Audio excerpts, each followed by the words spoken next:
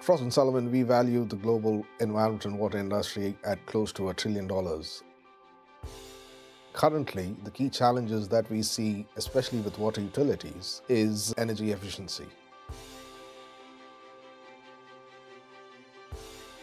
Utilities lose about 60% at the maximum in terms of non-revenue water losses and at times consume close to 50% of their energy purely on the distribution of water.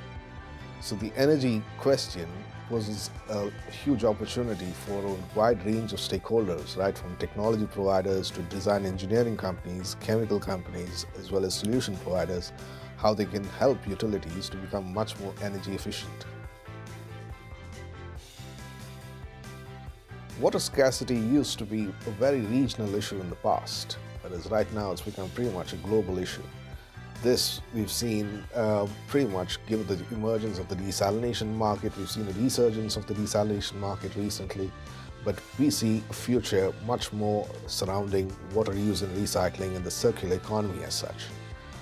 What we've seen also change is the intensity of technology use in the water utilities in the last decade, we've seen the percentage of investment terms of real value of shift from 15% to 20% of the overall value of the water utility industry. When we look at the industrial sector, the industry used to consider the water treatment within an industry to, to be different to the water treatment needs outside of the industry unit itself. So we are seeing service providers now thinking of a solution which combines this together and going with a value proposition that addresses this as a holistic integrated water proposition for the industrial customer. What we've also seen is when we look at water utilities, for example, they're treating the customer at the center of the strategy that they're putting together.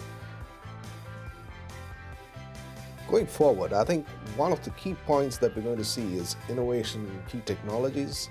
and how business models are going to transform of how the service providers are going to take their solutions and services to the customers both on the industrial as well as the municipal side. We're going to see different business models of software as a service, maybe even as water as a service, or data as a service, and a technology as a service, and how companies are going to put this together based on addressing some of the key pain points of utilities and the industrial customer.